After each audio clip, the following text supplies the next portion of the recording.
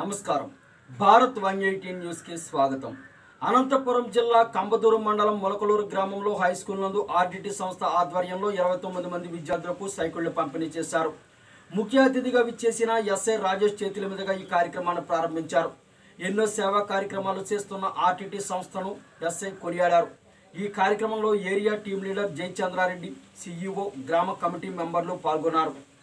Competition ఎగ్జామ్స్లో కొన్ని లక్షల మంది వచ్చినప్పుడు పోటీ పరీక్షల్లో నెగ్గి సెలెక్ట్ వచ్చిన టీచర్లు.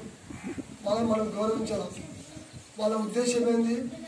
పిల్లలు ఒక మాట తిట్టినా అరిసినా ఎందుకోసం వస్తారు మా పిల్లలు బాగుండాలి.